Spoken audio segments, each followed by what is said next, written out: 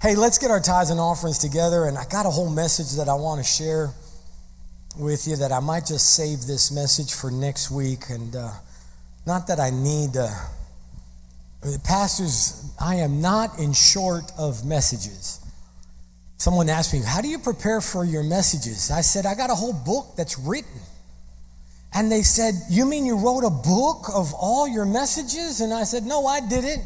God did. The messages start with Genesis and end with Revelation, and I got all the teachings I can I can get out of that book. So I'm not one of those guys that's short of anything to say. the Holy Ghost tells me this is what I want you to share, and then that's what I'll share. But I have this thing I want to share with you. We're going to get our tithes and our offerings together in the book of Ecclesiastics. Let's go there real quick, and and uh, usually I like to release everybody I like to say 12:15, but that's been doing 12:30 and even as late as 12:45. So we're going to see how we do today. Amen. Are you guys okay with this? I like letting you out early enough before the Baptists get to the restaurants. but this time I think I'm going to let you out after the Baptists are done eating. I'm only kidding. Praise the Lord book of Ecclesiastics. Uh, Pastor Juanita, do you remember what scripture it was? Do you have it prepared there? Not sure. Chapter 7, Ecclesiastics chapter 7, verse 12. Just real quick, I'm going to share this with you. Ecclesiastics chapter 7, verse 12 says, For wisdom is a defense as money is a defense, but the excellency of knowledge is that wisdom gives life to those who have it. I, I, I find it interesting. The book of Ecclesiastics is the is a book written by Solomon, the wisest man to have ever lived according to the scriptures.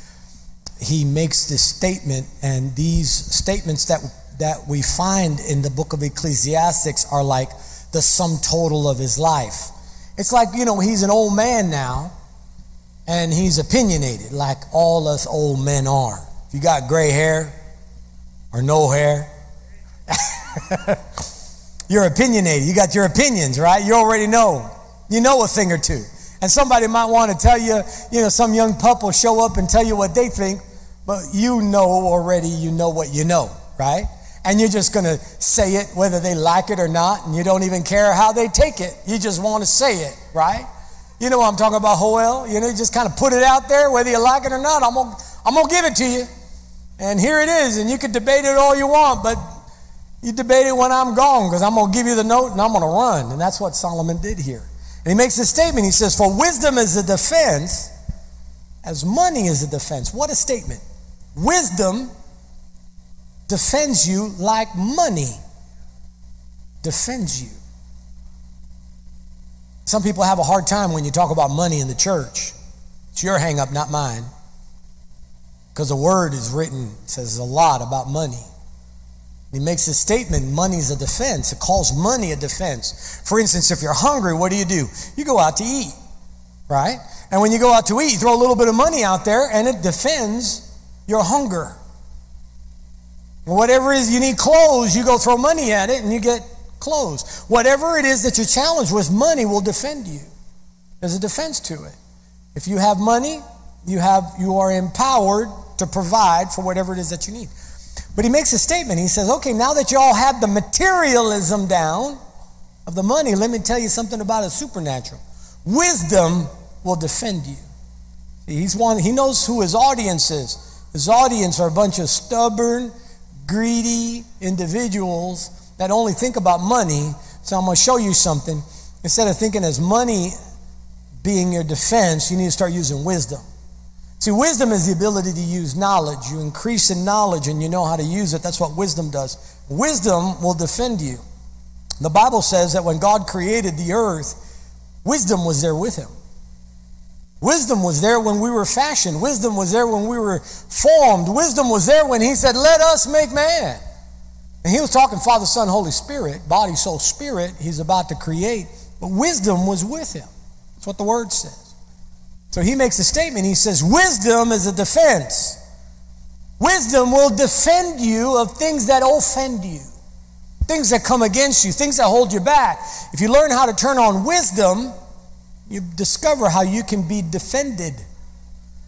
The Bible says the beginning of wisdom is the fear of the Lord. If you don't fear God, you got no wisdom. Zero, zippo, nada. If you don't have the fear of God, and there's a lot of people that say, Oh Lord, give me wisdom. Because you know, the scripture says, He who has no wisdom, will ask of God who gives to us freely. That's what the word says. But there are people that have no fear of God, and then they want wisdom. But the word says the beginning of wisdom is the fear of the Lord. But if you don't fear the Lord, how do you expect wisdom to turn on? Amen. So, how do you know whether you fear God? This is what happens when it comes time to give our tithes and our offerings. When it comes time to give tithes and offerings, it challenges a lot of people because you're touching with a person's money. And there's a lot of people that have money, lack money, work for money, but don't have their money right. And when you don't have your money right, that's what the problem is. Problem is not the money. The problem is you don't have your money right. You got your money being spent in places it shouldn't be spent in. Alcohol and drugs and lying and pornography and, and, and philandering or, or, or maybe not that, maybe spending it in concerts that you shouldn't be going to or spending them on people that aren't really going to pay you back. Because if you understand the power of money, you understand money will make more money when you understand money, money will make more money. Are y'all hearing me? When you understand money, money will make more money. But a lot of people don't understand money. This is why we have the scripture also in Ecclesiastics that money bores a hole in your pocket and flies away. Money grows wings. When you don't have your money right, that's when you find yourself broke. And nobody likes to hear that. They tell me all the time, Pastor, when you going to quit talking about money? I said, Well, when the Bible decides to wipe it out, I'll quit talking about money. Because that's the problem that a lot of people have is that they don't want to hear about money because they don't have their money right. If you have your money right, you'd have no problem talking about money. Amen? If You fear God, you got wisdom. There's a research that I, that I did, uh, the top 10 poorest cities in the United States. And I want you to see this first one right here in USA News. This is the month of September, USA News. Top 10 poorest cities in the nation. Look at number one. What's number one? That's Pharr, Texas. Where are we? We're in the poorest city of the top 10, we're in the poorest city, Pharr. She's screaming, my wife is screaming, we're only going up. There's only one way of going when you're the bottom. There's only one way to go. Are y'all here? Everybody go like this. We're going on up.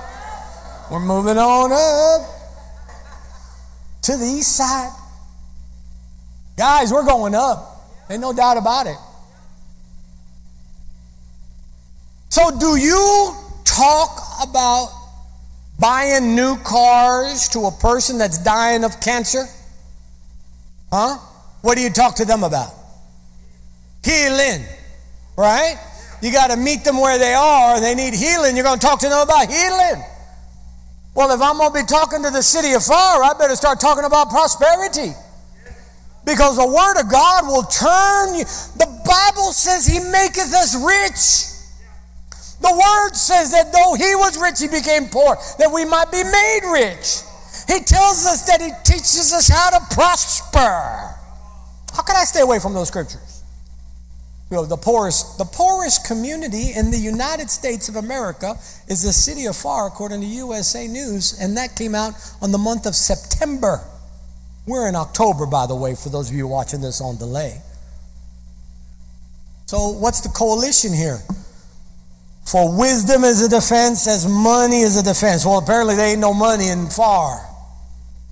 We need to get some wisdom inside us so that way money, money will grow. I spoke this out the first time I came here 2019 that we're prospering, that God's going to bring a level of prosperity to the Rio Grande Valley like never before, and it's going to come from the city of Pharr and abroad in Jesus' name. If there's ever a place for you to invest in, you need to invest in this city. Because as an investor, you don't invest when the prices are high, you invest while the prices are low. Come on now. I challenge every one of you to go on Zillow.com right now, or not right now, tonight. I'm preaching right now. Go on there tonight and find out how many pieces of property you could buy for under $100,000. Come on now. You're going to find all these little red dots pop up everywhere 78, 75, 81, 82. Man, Pharr is for sale. Buy it. Buy it. You need to start buying Pharr out because prosperity is going to hit Pharr. If I'm if I'm buying stocks and bonds, I'm gonna buy when it's low, not when it's high, and I'm gonna buy when it only has a way to go up. And now the prosperity of God's going to hit the city of Pharr, and it's going to prosper. If you can understand how to change it, are you ready for this? There's another number that I want to share with you. Put that second thumbnail up. This is another number 69. Let's call it 70%. There's 880,000 people living in Hidalgo County. Do y'all know where Hidalgo County is?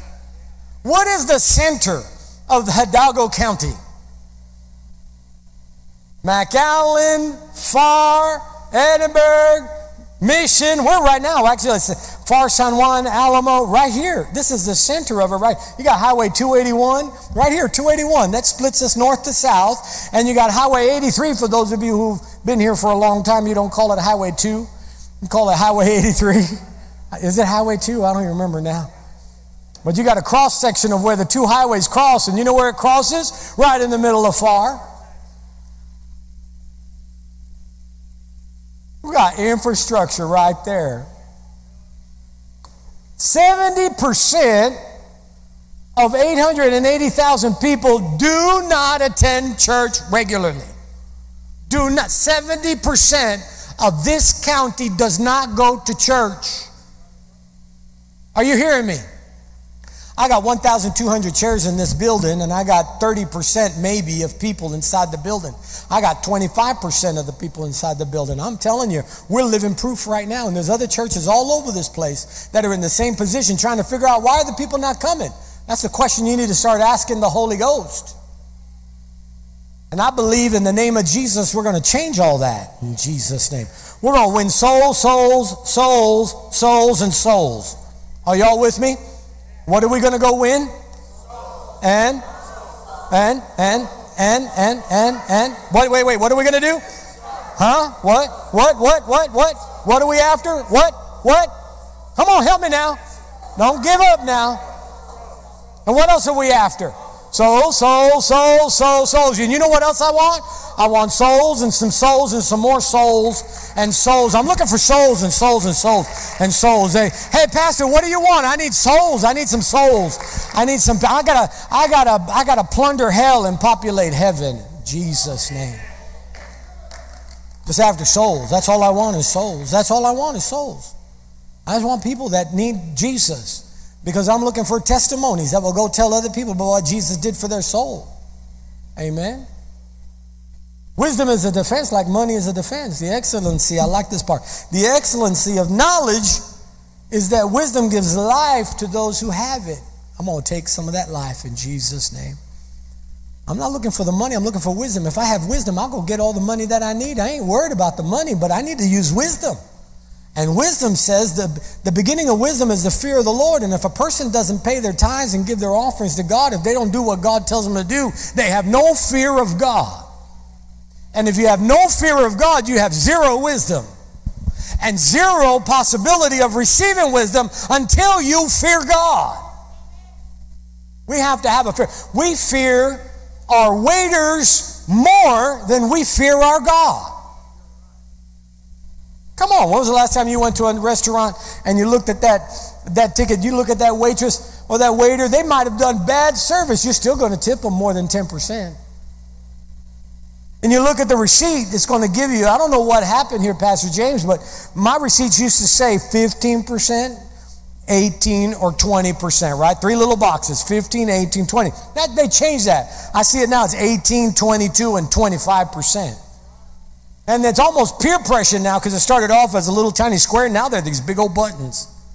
Oh, and let me tell you, if you got more than five people sitting on your table, they're going to put it on there whether you like it or not, line item it, and they still don't remove the three boxes. Are you hearing what I'm saying? Nobody ties, nobody tips less than 18% and expect to walk away thinking that you're not going to get something bad with your food next time you come around. But then when the preacher says you need to tithe 10%, oh, that preacher, all he wants is my money. Are you hearing what I'm saying? What I'm saying is that God requires wisdom. He wants you to have wisdom because He wants to prosper you. He wants you to have wisdom so He can prosper you. But wisdom, the beginning of wisdom is what? Say it again. And if you don't tithe, you don't fear God. It's because the word says, and God knows that you'd have a problem with. That's why He said in Malachi, "Test me, prove me, try me." That the original translation is, "Allow me to show you my righteous cause." He says, "Test me." Here's what He says: "Test me." He says, "You're robbing from me because you're not letting me prosper you." He says, "Try me out." He says, You rob from me not the money. It's not the money. It's not the 10% that you're stealing from God. You're stealing from God the opportunity to bless you. Pour out the windows, to open the windows of heaven, pour out a blessing not room enough to receive, rebuking the devil off of your life, off of your children, and off of your job. That everybody will call you blessed and you'll be full of joy. Seven blessings that come with the tithe. And when you don't pay your tithe, you rob God from doing that for you. Oh, why doesn't He do it anyway? He's such a good God. No, because He won't bless a curse. He can't bless a curse. The word bless means make more of what you already have. And if you're walking around with a curse because of disobedience, he can't bless that. That's why it doesn't work. That's why you're, you're that's why you're 70% not going to church and, and that's why Pharr is the poorest city and the Rio Grande Valley happens to be on the bottom of the, the 20. Several of the cities are top 20 most poorest places here in the Rio Grande Valley. Because 70% of the Rio Grande Valley doesn't go to church. And if 70% don't go to church, much less they are not tithing. Are you seeing how the domino effect takes place? But we're going to change that. Amen. Come on, everybody. We're going to change that. We're going to change that. What did I tell you? A few weeks ago, Pastor James, I said this a few weeks ago. I said the Rio Grande, the Rio Grande Valley is going to know Center Church as the church of all the rich people. I spoke that by prophecy. The, the Rio Grande Valley is going to know Center Church by all the rich people. But they're coming in poor right now, but they'll be rich. You're going to be rich. You're starting off poor right now, but you shall be rich. Are y'all hearing me? I'm not asking the rich people to show up. I want all the poor people. I'm the poorest community here. I need, I need all the poor people to come so that way God will show forth. Prove His word. I'm not knocking on the doors of bankers and lawyers and doctors. They're showing up. They're showing up, but I'm knocking on the doors of everybody I can. I applied for a TV station here in the Rio Grande Valley. We're just about to get it. In, I'm in a radio station, radio station in, in the Rio Grande Valley, and we're about to get it in Jesus' name, an FM radio station. We're about to get it. Are y'all ready for a radio station in the city of Pharr? In the city of Pharr, on this property, preaching the gospel through radio in Jesus' name. Why, why am I doing that? Because I gotta, I gotta figure out where those 70% are. I've been spending thousands of dollars myself, not the church, myself, spending thousands of dollars on airtime on channel 5.3 every single day, Monday through Friday. Thousands of dollars preaching the gospel to the city of Pharr, the whole Rio Grande Valley, because I'm, I'm trying to get the gospel into the 70%. Amen. And then I just signed an agreement this past couple of weeks to pick up channel 35.5, a full channel. We're going to build what's called, what will be called King Jesus Television Network that we're going to build from our own location right here in Jesus' name. Because I'm after 70% of those that are not coming to church. If they're not here, I got to go out there. That's what Jesus said. He shared a word. He says, You got to go to the highways and byways and go pick them up. So that's where I'm going. Glory. You coming with me? How many of y'all coming with me? Praise the Lord. You coming with me? And you coming with me? Hallelujah. If you're part of Center Church, you're coming with me. We're going to do it. Come on, kids. I told every one of the kids. I told all our kids that are up in classroom, I said, you're going to learn television because you're going to start producing TV shows. Didn't I say that? Didn't I say that? I said, you guys are going to produce some TV shows. I even did an interview with these two right there, and, and Sister Claudia's daughter did a, did a TV show, and the gentleman right there. And we're going to keep doing more. And the rest of y'all, get ready, get ready, get ready, get ready. Get ready to preach the gospel. It's not about me being on TV. I won't put you, I won't put the TV camera pointed on you. You're hiding in the back, and I'm gonna put the camera where you are in Jesus' name.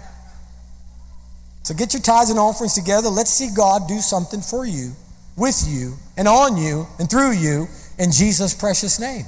Get your tithes and offerings together.